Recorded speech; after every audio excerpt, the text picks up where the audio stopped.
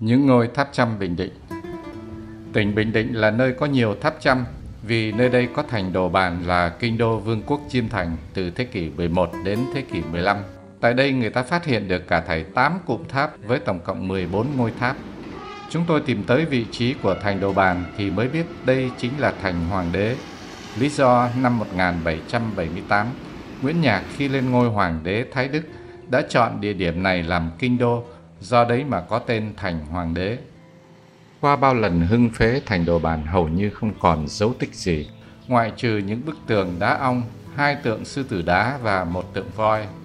Dân địa phương hướng dẫn chúng tôi đến vị trí thành hoàng đế, nhưng nơi đây chỉ là một ngã ba và một bãi cỏ có tấm bia di tích. Được biết ngày xưa chính chỗ này là cổng của ngoại thành. Nơi đây có một tượng voi bằng đá, một trong những di tích còn lại của thành Đồ Bàn. Một di tích quý như vậy mà để phơi giữa trời, làm sao tránh khỏi hư hoại. Đi thêm vài trăm mét mới đến di tích thành hoàng đế. Nay chỉ còn bờ tường của nội thành và tử cấm thành. Cổng thành uy nghi, mang nét kiến trúc đặc thù Việt Nam – Vào bên trong cổng, nhìn thấy bờ thành cao 3 mét bằng đá ong nổi bật trên thảm cỏ xanh. Chính giữa sân nội thành là cột cờ uy nghiêm. Sau lưng cột cờ là tượng sư tử của thành Đồ Bàn mà Nguyễn Nhạc giữ lại để trang trí trong tử cấm thành.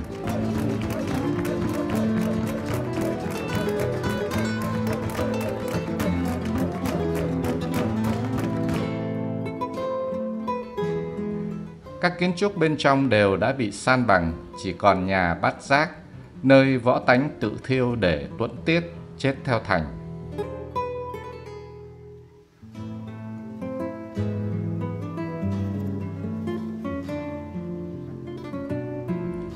Chúng tôi ngập ngùi dạo trong sân thành nội, gặp một ngôi mộ cổ bị hư hoại do thiếu bảo tồn, có lẽ là mộ võ tánh một bàn thờ với nhang đèn dường như vẫn được ai đó đến đây chăm sóc hương khói.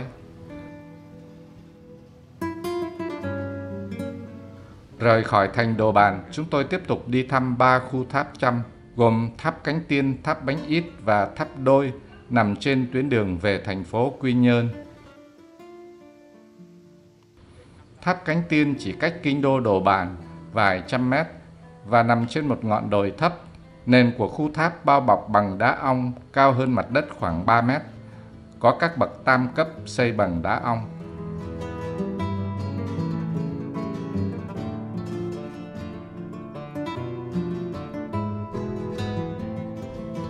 Tháp cánh tiên cao 20 mét, đứng sừng sững giữa đất trời lộng gió.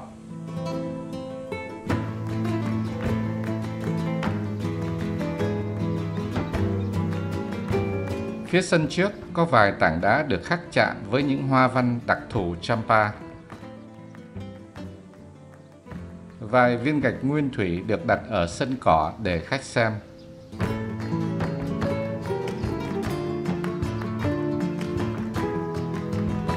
Đế tháp được lót bằng gạch nung. Trước cửa có hai di tích giống như là chân cột bằng đá đã hư hoại hoàn toàn.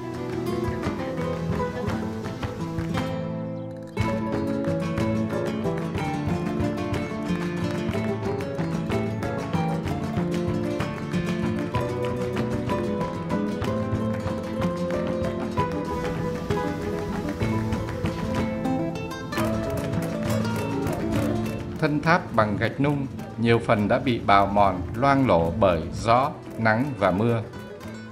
Rêu trắng bám phủ từng mảng lớn. Dọc theo cạnh tháp có những viên gạch chạm trổ hoa văn. Những viên gạch này được phục chế cho thấy nét tinh xảo của các hoa văn.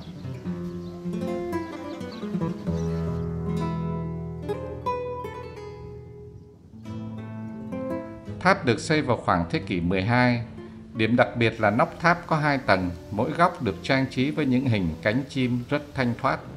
Vì vậy mà người ta gọi tháp này là tháp cánh tiên.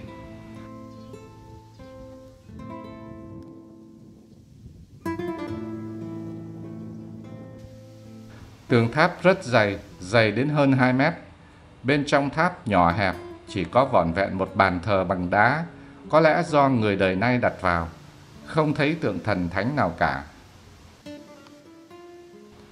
Từ giữa sàn tháp nhìn lên đỉnh mút mắt là một cửa sổ hình vuông rất nhỏ, có lẽ để thông gió và lấy chút ánh sáng từ trời.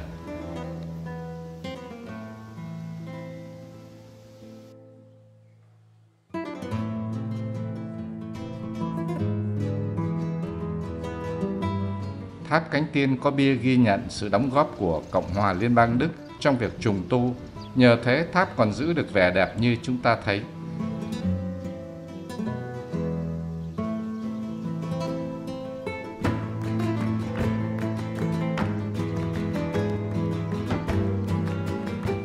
Quy Nhơn 15 cây số là cụm tháp bánh ít.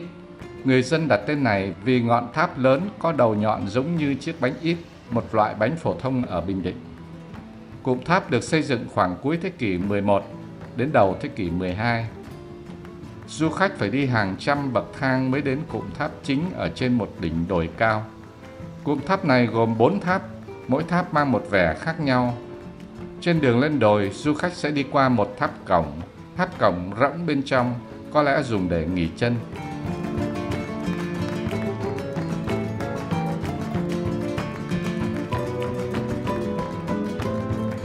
Đi qua tháp cổng, khách lại tiếp tục leo những bậc thang lên đỉnh đồi.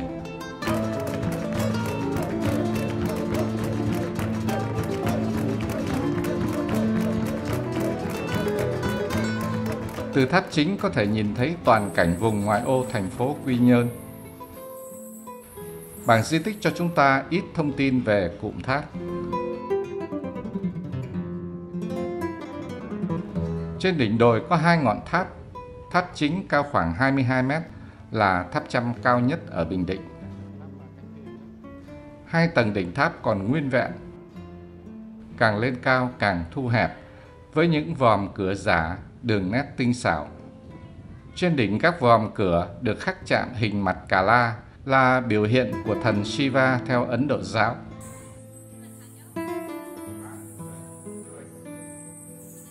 Bên trong tháp chính có tượng thần Shiva bằng đá đen đặt sát vách và một bàn thờ.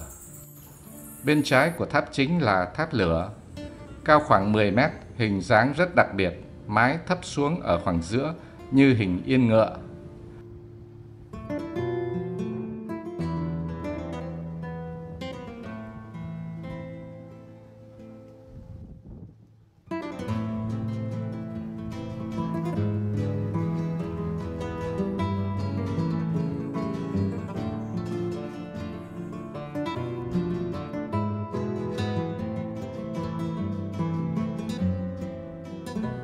Trên đồi cao 32 mét này, khách thích thú hóng gió và ngắm cảnh. Nhìn về phía nam của ngọn đồi, người ta thấy ngọn tháp cổng thứ nhì. Đứng ở đây có thể nhìn thấy sông Côn và thành phố Quy Nhơn. Điểm cuối của hành trình là tháp đôi ngay tại trung tâm thành phố Quy Nhơn. Chúng tôi tới nơi thì mặt trời đã lặn, trời chỉ còn chút ánh sáng. Gọi là tháp đôi vì đây là hai ngọn tháp một lớn một nhỏ đứng cạnh nhau như đôi vợ chồng. Tháp đôi được dựng khoảng cuối thế kỷ 12, tháp lớn cao khoảng 20 mét và tháp nhỏ cao khoảng 18 mét. Tháp đôi chịu ảnh hưởng của kiến trúc chân lạc tức Khmer. Nóc tháp lớn có trang trí nhiều tầng với những phù điêu chạm khắc và các hình tượng thần, chim và thú thần theo tín ngưỡng người Chăm. Phần đế tháp là những tảng sa thạch thân tháp bằng gạch nung. Cửa làm cao hơn mặt đất khoảng 3 mét, tháp chỉ có một cửa ra vào. Bên hông tháp là những cửa giả với nhiều lớp trang trí, công phu, hình chóp.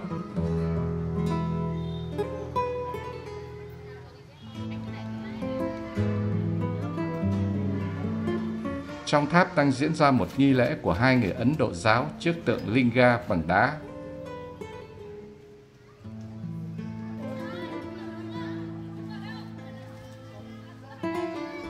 Bàn thờ cũng bày hoa quả, bát nhang và chân đèn. đỉnh tháp có một cửa thông rõ hình vuông.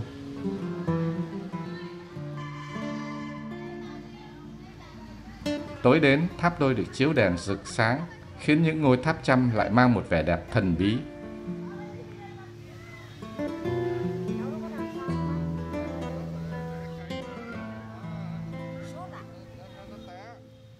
Đã 9 thế kỷ qua, những ngọn tháp trăm vẫn còn trơ gan cùng tuế nguyệt, như nhắc nhở về sự vô thường của cõi nhân sinh.